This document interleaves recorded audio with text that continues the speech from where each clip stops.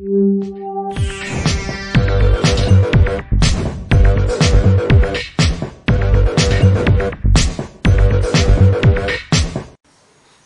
back dear students of class 12. Today we will be starting with new chapter that is polymers.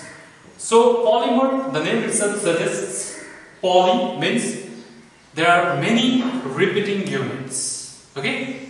So let's go to the definition first.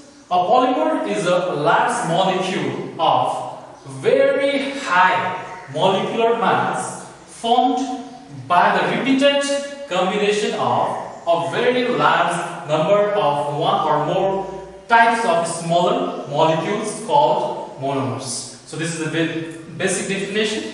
Now with this example, I'll try to make you understand. Okay? So whenever suppose we have say a molecule which is say a compound, okay? A. Now this A, whenever they this A, there are so many A, say n number of A, okay? And this n is very very large, more than thousands.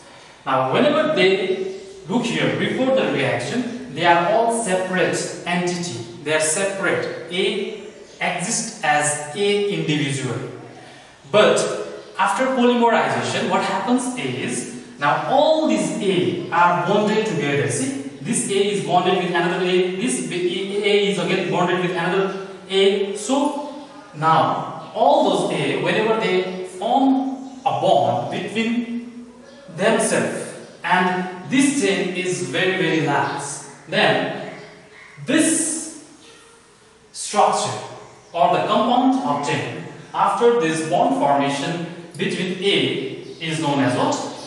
So it is known as what? Polymer. Now this repeating, see this A is being repeated here, see A, A, A is being repeated. Now this individually A is known as what? Monomer. It is known as what? Monomer. Similarly, instead of just A, A combining to give you the polymer, it could be that uh, the molecule of different kind, they can come together and can stay in a very long chain. Okay? That example is here. See, there are say many A. See this?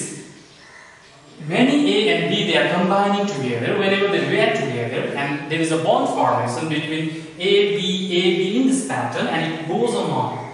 And this side also goes on. Then that forms a very long chain, and that will give rise to what? Polymer. Okay? Hope this is clear. Now, this simple example is polythene. The polythene that we use that is obtained from ethene. Okay, so monomeric unit is what ethene, and the polymer is what polythene. So now let's discuss about the classification of polymers. Now polymers can be classified based on different criteria. So here we will be discussing few of them. So the first one is classification on the basis of repeating unit.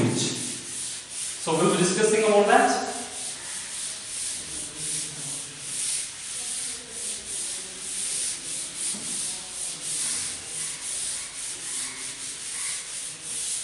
So the first classification is classification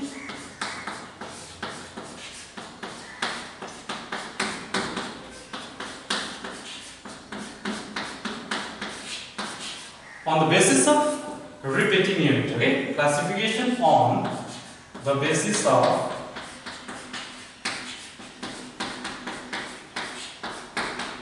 repeating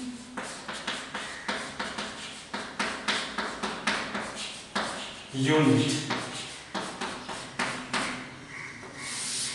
Now see this example see here in this polymer in this polymer now here what you see this polymer is formed by only one type of molecule that is A only. Yes or no? Now this A is what? Monomer as I told you. Now whenever there is only repetition of one kind of monomer and that gives you a very long chain which results in the formation of polymer then this is known as what? Homopolymer. So based on repeating unit it can be classified into homo, polymer and the second one is copolymer. The second one is copolymer. Now the name itself suggests homo means same type, same kind. This is an example of homo polymer. Now copolymer. Now copolymer, this has to be just the opposite of what? Homo polymer. Now in this copolymer, the repeating unit will be different. It could be two or more than two. Here as this example where we have a, this polymer where this polymer is formed by two different types of molecule that is A and B. Therefore this second one is example of what? Copolymer.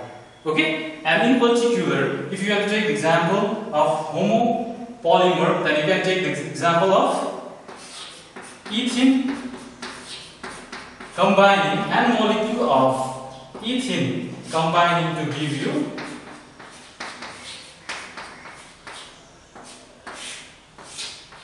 polythene. This is polythene. Now here in polythene, the repeating unit is, all, is only one type. That is this ethene. Okay.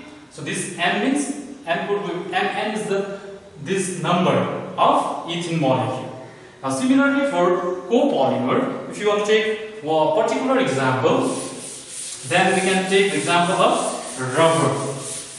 The rubber is obtained from butadiene that is CH2 CH CH double bond CH2 this is butadiene whenever this reacts with styrene that is CH double bond CH2 okay now this is a different monomeric unit and this is different. These two are not same. Therefore, this is an example of a copolymer. So let me write the uh, this polymer of this rubber. This is butadiene. This is styrene. And this is butadiene. Now, whenever you write in the polymeric form, you have to follow this pattern. Okay, see this will form a bond with this carbon that means this carbon will be bonded to this and this double bond will be will be used up in forming a bond with another molecule another molecule okay now once this happens then this bond will shift here okay now you write this together. So let me write here. CH2 single bond CH double bond CH CH2 now this is bonded with this CH2 CH2 CH now here you have a benzene ring. Now this is used in the formation of bond. And here also because this has to exist in a very long chain this also has to exist in very long time therefore this is the polymeric form of what polymeric form of rubber. Okay, so here if n number of them n number of them are combining, then you can represent it as whole n. Okay, so this is the polymer of rubber. So the, we have discussed classification on the basis of what repeating unit.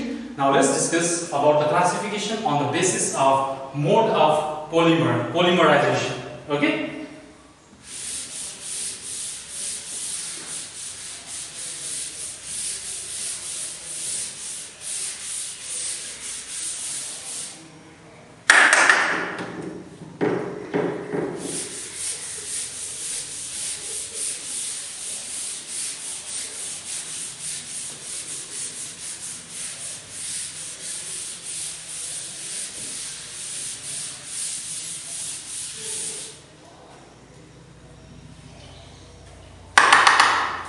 On the basis of classification now on the basis of mode of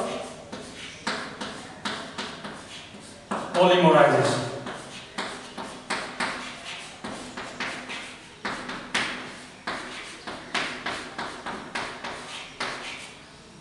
Okay, so again on the basis of mode of polymerization, it can be classified again into two categories. One is addition polymerization, the other one is condensation. So number one is addition and the second one is condensation.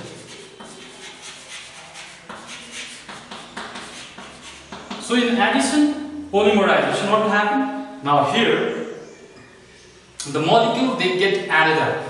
Okay. Now, for example, the example of polythene. Again, here you can use example of what? Polythene. Now, ethene, ethene, ethene, ethene, ethene, so many ethenes, they come together, they get added up together to give you polythene. So that is example of addition polymerization. So here what happens? N number of molecules, they come and get added to form the polymer. Now here, no elimination takes place. Nothing gets eliminated. Whatever is the monomeric unit, that will add up and give you the polymer. But in condensation, here what will happen? For condensation type of polymerization, what has to happen is, there has to be two different functional groups, okay, present in the monomeric unit and whenever they come together to form the polymer, small molecule like water, ammonia, they get eliminated to form the to form the polymer. So this example of addition polymerization again is can be given by formation of polythene. So you have CH2, CH2, here this side also, this side also it has to be bonded. There are n number of what? This repeating unit. This is example of addition polymerization. Nothing is getting eliminated. But in case of condensation polymer, polymerization, as I told you, small molecule like water, ammonia gets eliminated. So let's take the example. Example of nylon 66. So that we get it from hexa methyl diamine that is NH2 NH2. This is hexamethyl diamine. Whenever it reacts with the adipic acid, adipic acid is COOH. Here we have CH2, four of them, and here again we have COOH. So this is this is the this is the formula for adipic acid, and that is hexamethyl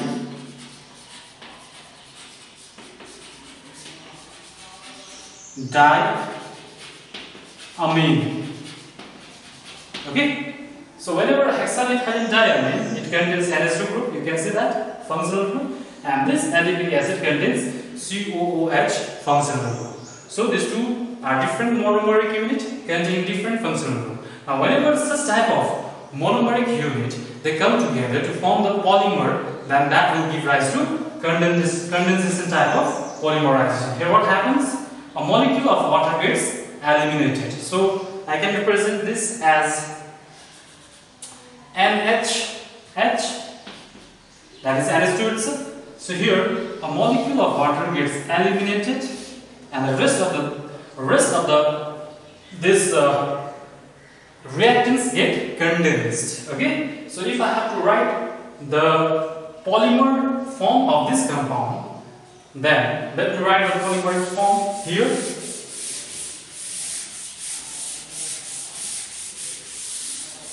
So I'm going to write the product formed by this reaction here. Okay.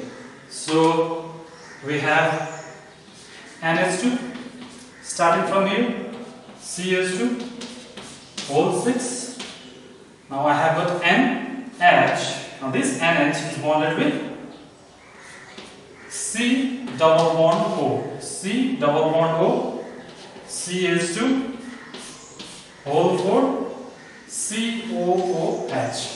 So this is the unit formed whenever two of them they condense. Okay, when two molecule gets condensed. Now, if I have to write this in polymeric form, that means this chain will keep on continuing. This side also, this side also, so whatever you have observed here, so whenever this site, it has to, if it is bonded with another molecule of this reactant, any one of the reactant, like this adipic acid, this side, and what, what will happen? again this one hydrogen will be eliminated. So while writing the polymeric form, you have to write in this manner. Okay. So this one hydrogen will be eliminated, and from here, what was eliminated from here? From adipic acid, OH part was eliminated. So if it has to form a bond this side, then again what will happen? OH would be eliminated, and you would be having C double bond O. Yes or no? This OH would be eliminated. Then this whole N means now N number of times they have got repeated and they have condensed together to give you polymeric form. So this is example of what? Condensation polymerization and his example of and his its name is nylon 66. Okay? So please remember this. Now again we are going to discuss about the classification on the basis of molecular forces now.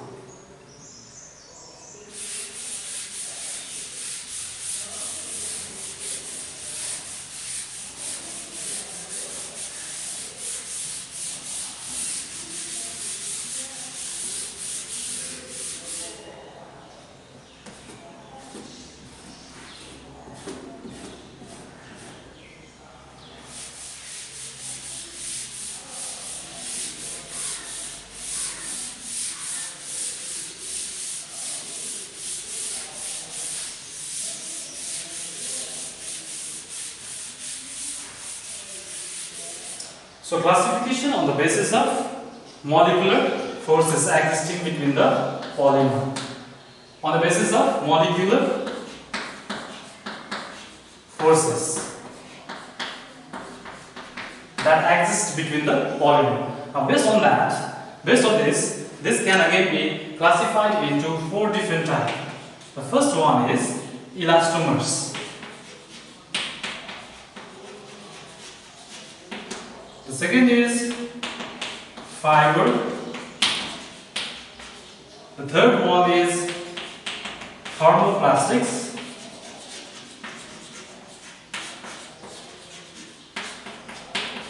And the fourth and the final one is it is thermosetting. Thermosettings. So, so based on molecular forces existing in the polymer, they can be classified into four types. Elastomers, the name itself suggests elastomers means what? They can be stretched. So here, if it can be stretched, then what type of forces will act here between the molecules? The forces here in elastomers will be the weakest of all the all of the types. So the weakest forces exist in elastomer and uh, the chains they have coiled chains. So coiled chains means what? It can be stretched and once it is left what will happen? It will come back to its original position. So here elastomers it has what? It has coiled chains along with few cross links these cross links will help it to whenever the force is released now you stretched it once the force is released, what will happen? It will come back to its original shape or position. That is because of cross link that exists between the chain in the polymer. Okay? So this you have to remember. Now, let's move on to the fiber. Now this fiber is just the opposite of elastomers. In fibers, the strongest type of intermolecular forces of attraction exists, like hydrogen bonding, dipole-dipole interactions, okay and because of that they are what? They are very rigid. They are very rigid. And their density is also very high. One thing you have to remember what? Because the intermolecular forces are very strong. Because of that they exist in what? Crystalline form. Crystalline form. And when you know crystalline forms they will be having high melting point. So these are the things that you have to remember. Okay the types of forces that acts. Now in thermoplastics, the thermoplastics, the molecule, the type of molecular forces in thermoplastics are in between elastomers and fibers. It is neither too strong nor too weak. So this you have to remember, okay? and one more thing you have to remember now see.